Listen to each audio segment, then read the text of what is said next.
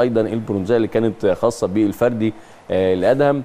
آه، آدم عشان توصل للنقطة دي أكيد خدت مشوار كبير قوي. يعني مش مسألة اللي إحنا عشان عندنا بطولة في مصر فإحنا عملنا معسكر قبلها. لا. اولا أنت دخلت لعبة السلاح إمتى وإزاي؟ وكان إيه السبب؟ خليني كده آخد منك سريعا. أنا أخويا الكبير مدحت.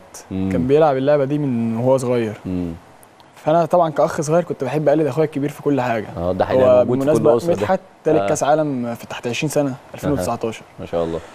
فدخلت اللعبة وكنت في الأول مش حاببها قوي وما كنتش. بروح التمرين وكنت بلعبها هواية كنت مضطر بقى أصلا حد بيوصل آه، مدحت فأنت رايح معاه. وتشاهده وخلاص هلبس. اللبس بتاعه وألعب. زيه وأمسك السيف آه. آه ف يعني مرة بمرة لقيت نفسي بتحسن مستواي بيعلى دخلت أول بطولة ليا تحت 13 جبت مركز ثالث فحبيت بقى اللعبة مم. يعني عايز أقول لحضرتك بعد ما جبت المركز الثالث دي قعدت أتفرج على الفيديو بتاع التتويج بتاعي يجي 20 مرة بعديها ياه.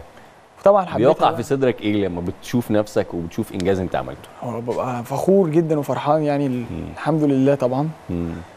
فبعديها دخلت بقى اللعبة وبدأت أتدرب ودخلت المنتخب. واحدة بواحدة الحمد لله يعني ربنا كرمنا وجبت أول ميدالية دولية. هوصل معاك. ح... يعني حتة المنتخب دي تحديدا بيبقى عند أي حد كده مس- مسجل في ذاكرته وذهنه. أول مرة دخلت المنتخب كام سنة؟ كان عندي 11 سنة. 11 سنة كان منتخب انت يعني سنتين تقريبا من ممارستك ولا سنة من لا هو في نفس السنة في نفس يعني السنة. جبت الميدالية في البطولة آه. دخلت المنتخب تحت 13 سنة آه. بس أكيد مدحت كان ليه إرشادات أخوك مدحت كل التحية ليه كان ليه إرشادات ليك آه أكيد طبعا يعني في اللي أنت هو اللي حفر سريعا. تتطور هو يعني. اللي حفر